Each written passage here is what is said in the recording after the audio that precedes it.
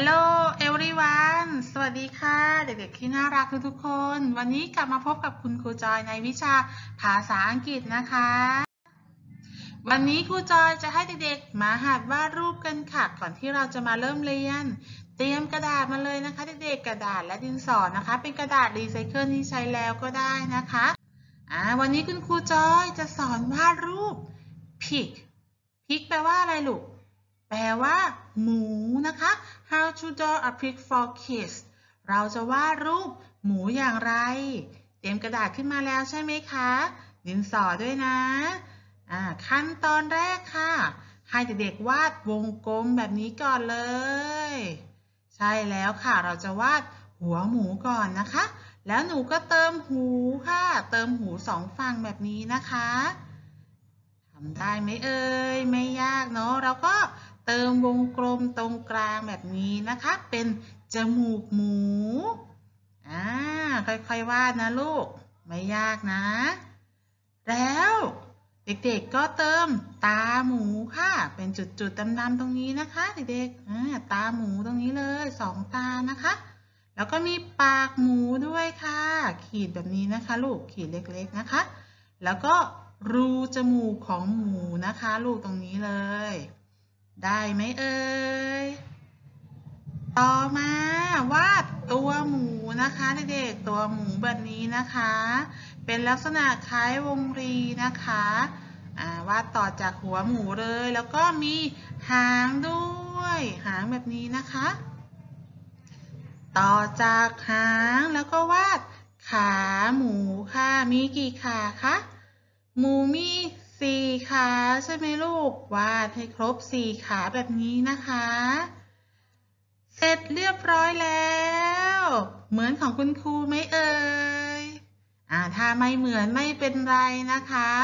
เด็กหัดวาดนะคะ หัดวาดหัดจินตนาการได้เลยนะคะ เราอาจจะระบายสีนะคะ ถ้าใครมีสีนะคะ หยิบสีขึ้นมาระบายให้สวยงามเลยนะคะ วันนี้นะคะครูจอยจะมาสอนเกี่ยวกับคำศัพท์พื้นฐานนะคะเด็กๆ รูปแรกเลยค่ะ รูปอะไรคะเนี่ย โอ้โห ปลาใช่ไหมลูก ปลาเต็มไปหมดเลย มีทั้งปลา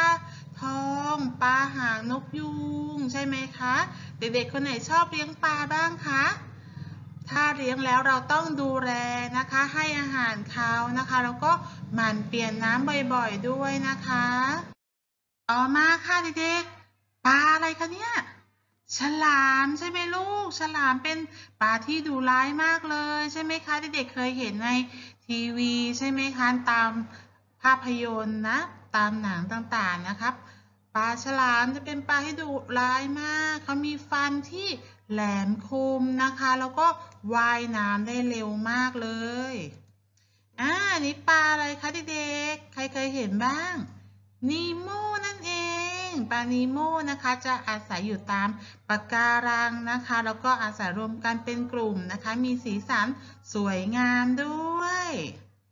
อันนี้จะเป็นปลาทูน่านะคะเด็กๆ จะอาศัยอยู่ในท้องทะเลลึกมากเลยคำศัพท์คำว่า ปลานะคะ เขียนยังไงนะ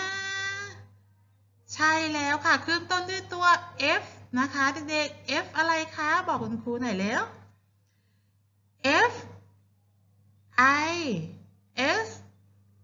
H fish แปลว่า ปลานะคะ เด็กๆต้องเขียนคำนี้ได้ด้วยนะคะ ต่อมาค่ะ รูปอะไรคะเด็กๆ รูปลูกบอลใช่ไหมคะ โอ้โห คุณครูจอยมีลูกบอลเยอะแยะมากเลย ลูกบอลก็จะมีหลากหลายสีสันนะคะ เราเอาลูกบอลไว้ทำอะไรคะลูก เอาไว้เล่นนะคะ บางคนเด็กผู้ชายก็อาจจะชอบเตะฟุตบอลใช่ไหมคะ เด็กผู้หญิงอาจจะเล่นเป็นโยนรับบอลนะคะ ถ้าเราเล่นแล้วเราก็ต้องเก็บเข้าที่ให้เรียบร้อยนะคะคำศัพท์คำว่า ball เขียนยังไงนะ ขึ้นต้นด้วยตัวอะไรคะเด็ก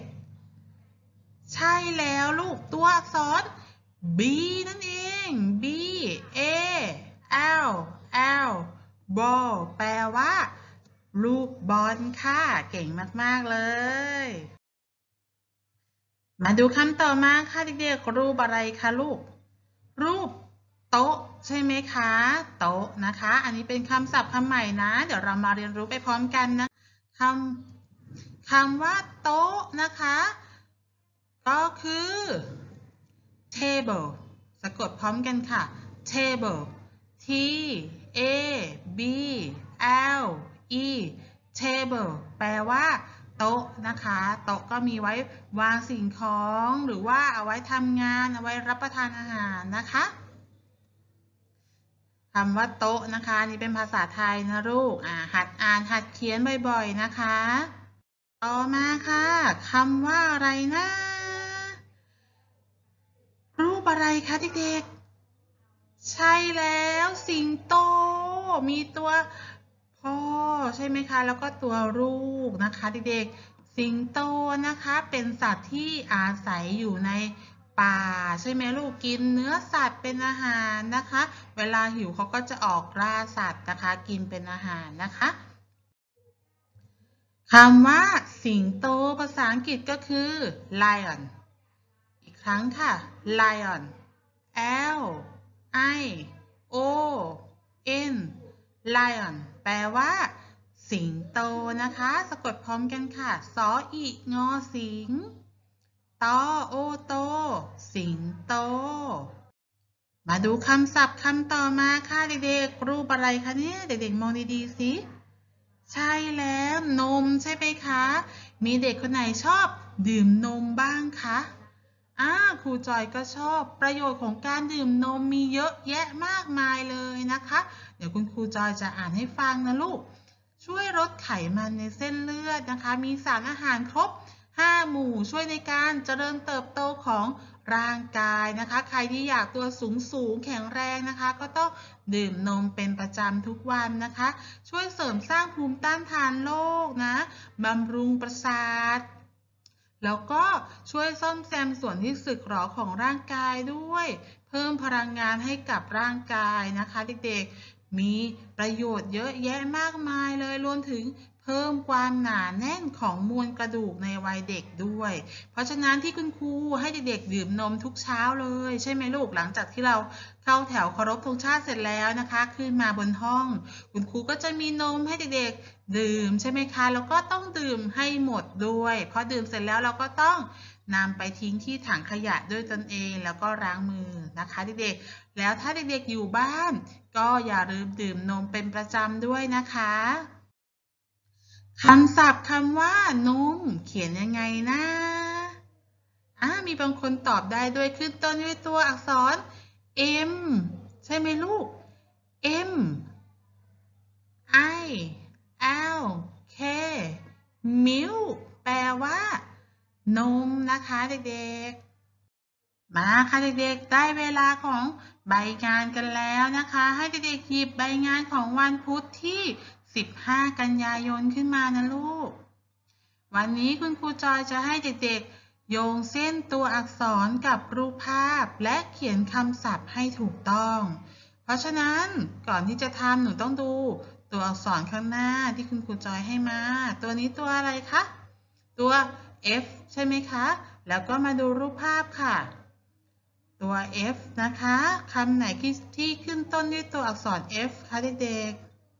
ใช่แล้วค่ะ ฟิสปลาใช่ไหมคะ เราก็โยงเส้นเลย เสร็จแล้วเราก็มาเติมตัวอักษรนะคะ F I S H fish แปลว่า ปลา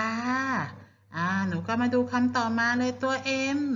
M มิ้วนมใช่ไหมลูก เมื่อกี้เพิ่งเรียนไปเองนะคะ เด็กๆก็โยงเส้นมาหา นม แล้วเราก็เติมตัวอักษรนะคะทำได้ไหมเอ่ย ไม่ยากเนาะ มีทั้งหมด 6 ข้อนะคะ ค่อยๆทำค่อยๆเขียน ค่อยๆคคิดนะคะ แล้วเดี๋ยวเราเจอกันใหม่ในคลิปหน้านะคะ สวัสดีค่ะ